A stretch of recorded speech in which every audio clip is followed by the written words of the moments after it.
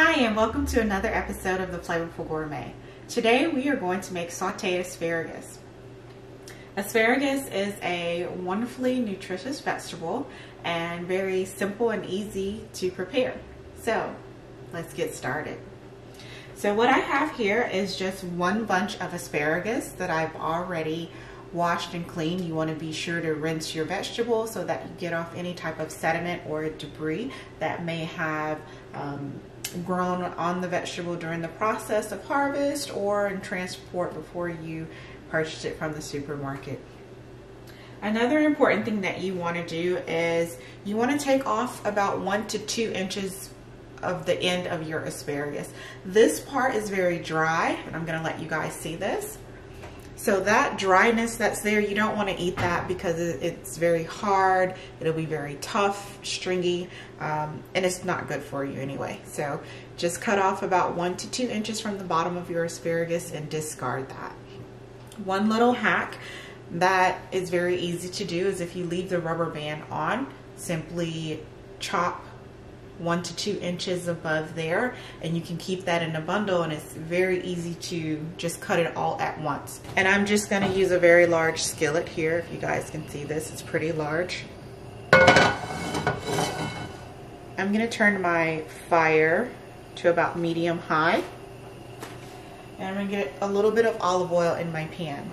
So about one to two teaspoons, not much.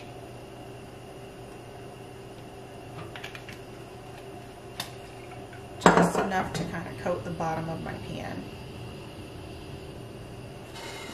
So I think my oil is pretty well heated there, so I'm going to just take my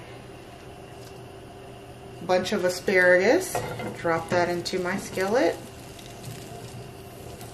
spread it out, and let that start cooking. This asparagus. I'm going to let that cook for just a few minutes and while that's cooking I'm going to show you what else we'll be using today. So I have just a couple, about three or four large baby portobello mushrooms that I have thinly sliced, one tablespoon of garlic herb butter, one small shallot, cut lengthwise. So I'll hold a piece of that up for you all to see. So you just want to cut it so it stays long. And then I have a few garlic cloves. Two to three should be fine. I also have some finely shredded Parmesan cheese and one fresh lemon. Give my asparagus a toss.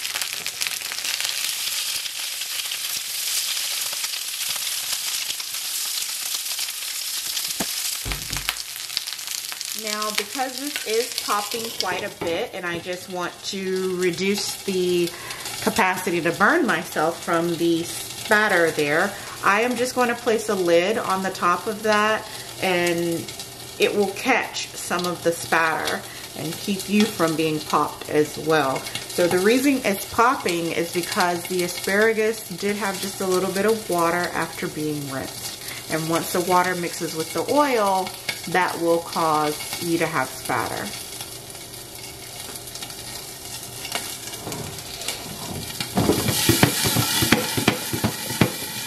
Give that a little shake. Let it continue to cook. Okay, I'm going to give my asparagus a stir.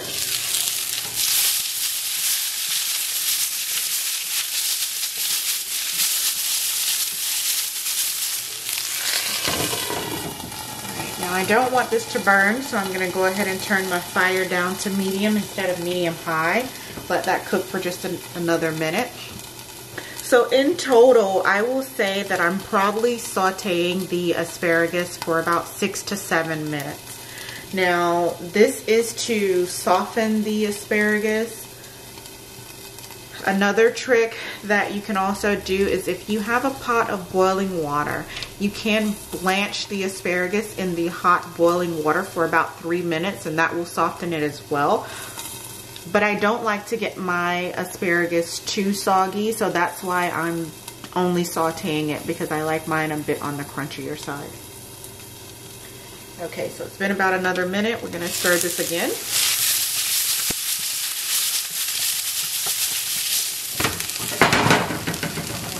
I'm going to add my one shallot.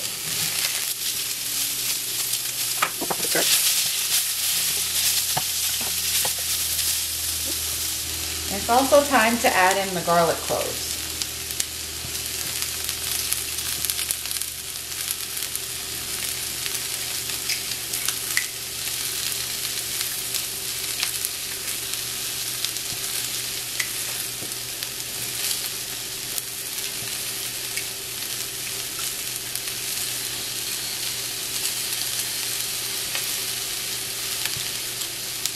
Get your fresh garlic into your skillet.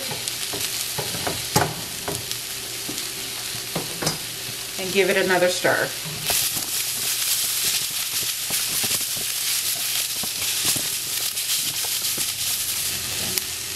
Turn my broiler on to high.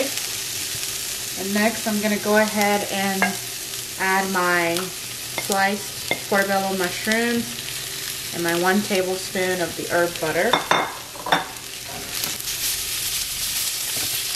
You can feel free to just go ahead and turn your fire to a low.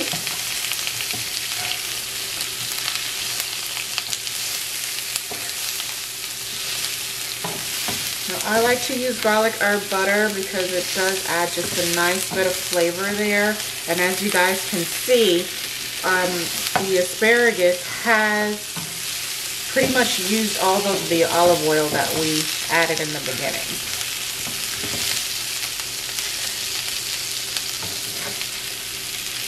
Just giving it a, a light toss so that the butter gets on all of the asparagus there.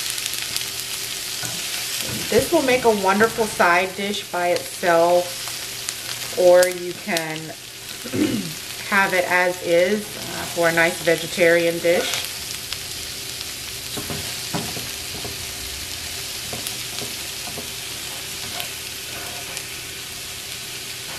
All those pretty colors there.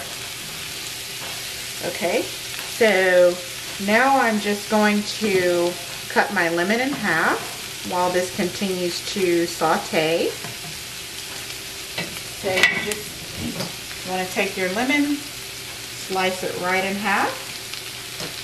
And I'm just going to squeeze my lemon right over the top of this asparagus. I'm just using one half of the lemon. And just give that a squeeze over.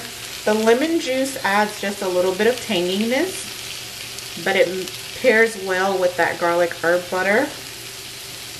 So if you like a, a scampi sauce, that's what it's very similar to because it's the lemon, the herbs, and the butter coming together. So I've kind of just squeezed that half of the lemon right into the vegetable. Give it a quick stir or toss.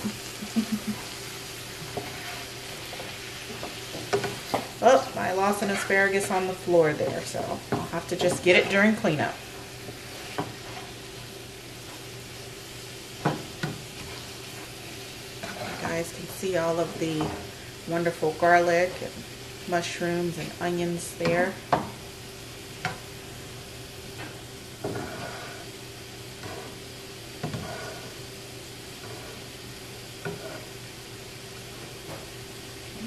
last thing that I want to do is just take a little bit of my Parmesan cheese, sprinkle that right over the top of my asparagus. Just, I'm using about two uh, little handfuls there.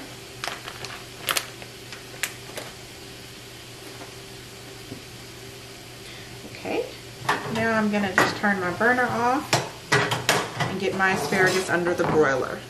While that broils, I'm going to tell you a couple of quick facts about asparagus. So asparagus is a very healthy vegetable. It can be eaten raw or cooked. That's one of the many benefits. It's also a very uh, low calorie and low fat food. So if you're dieting, enjoy some asparagus. It's also high in fiber if you need that. Um, it's antioxidant rich, especially with vitamin E as well as uh, vitamin C. So who knew you didn't even need a couple of, cup of orange juice. Just eat some asparagus for a good bit of vitamin C. If you are trying to conceive or pregnant, it's also high in folate, which will make it very healthy for you. But folate is also great for other uh, bodily processes such as DNA and cell growth development. And asparagus is also high in vitamin K. And vitamin K is an essential nutrient for the blood clotting process um, as well as for bone health. So now you have a few fun facts about asparagus. I think that's been about one to two minutes, so let's check our broiler. This looks absolutely perfect. So there is our asparagus made with fresh asparagus. Now that handle is hot. We use some portobello mushrooms, shallot. I'm just going to move this closer to the camera so you can see how wonderfully our Parmesan cheese just kind of melted there. We also use lemon juice, garlic, olive oil, and herb butter. If you notice, I didn't add any salt into this recipe. And that's simply because I am cutting back. But if you want, you can feel free to add a little bit of salt to, to your taste. So, happy cooking. Enjoy your freshly made asparagus with mushrooms, shallots, as well as a little bit of Parmesan cheese and other wonderful yummy ingredients. If you like this recipe, feel free to give this video a thumbs up and check, check it out along with others on my website, theflavorfulgourmet.com. Thanks.